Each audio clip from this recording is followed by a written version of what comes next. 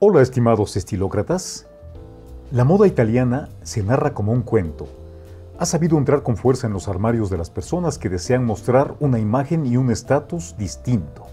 Tiene un estilo único en el mundo. Es elegante y desenfadado a la vez. Hoy, en Estilocracia, te traemos la breve historia de una de las firmas italianas más reconocidas en el mundo, Dolce e Gabbana.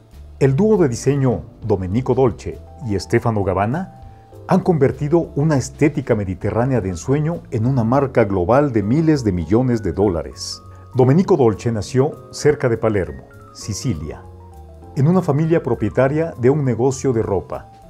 Trabajó en el negocio familiar aprendiendo sobre moda desde la infancia. Stefano Gabbana nació en el otro extremo de Italia, cerca de Milán. Su primer amor fue el arte pero más tarde recurriría a una nueva pasión, que era la moda. El dúo se conoció por primera vez cuando ambos eran diseñadores asistentes en el mismo lugar de trabajo. Después de un breve periodo de trabajo como asistentes de diseñadores, fundaron la marca Dolce e Gabbana.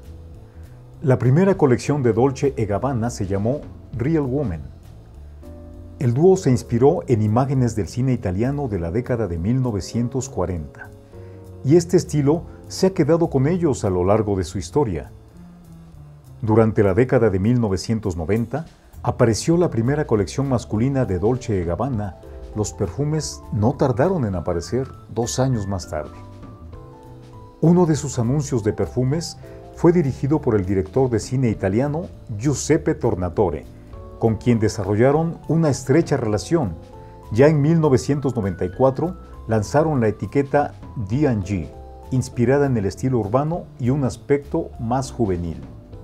Poco a poco, la pareja lanzó otras líneas de productos, incluyendo prendas de punto y accesorios, ganando notoriedad particularmente por sus sensuales vestidos y ropa de hombre. El éxito rotundo les valió el premio Gullmark en 1991. Pero el punto de inflexión en su éxito internacional comenzó con su amistad con Madonna. Entre los tantos eventos en que participaron juntos, la estrella del pop ordenó un corsé hecho de piedras preciosas y una chaqueta para lanzar su película Truth or Dare, In Bed with Madonna.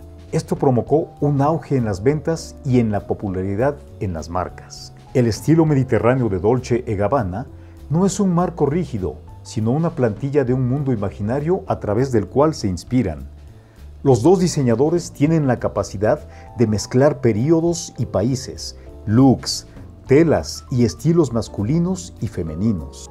La historia de la firma italiana es un claro ejemplo de la exposición de creatividad, visión y poder de permanencia. Cuéntanos, ¿cuáles son tus productos favoritos de la marca?